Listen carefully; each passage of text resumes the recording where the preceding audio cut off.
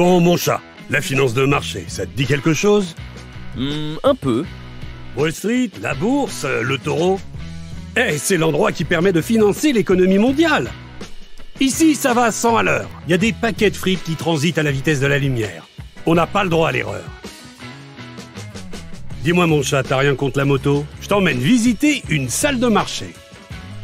Accroche-toi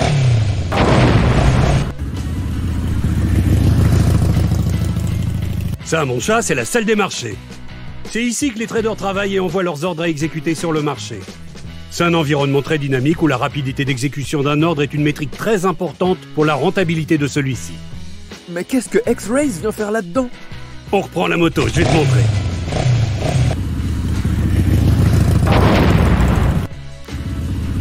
Tu vois mon chat, X-Rays Trading intervient au sein même du moteur qui fait tourner cette gigantesque machinerie, le front office.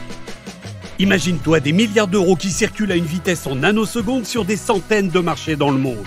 Eh bien, X-Rays opère au cœur des accès marchés de ses clients sur les outils les plus rapides, les plus critiques et les plus sensibles qui existent.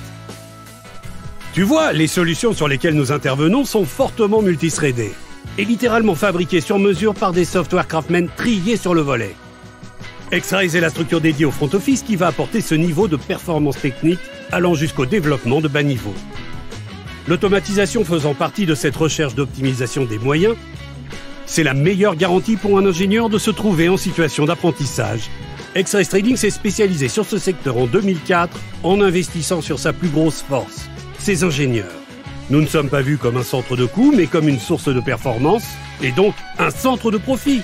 Dans ce monde des gigantismes, X-Rays Trading apporte de l'humanité, de l'écoute et un accompagnement hors pair. N'attends plus et rejoins l'aventure X-Rays Trading. Ça y est, j'ai enfin trouvé une boîte de dingue dans laquelle je vais pouvoir m'éclater.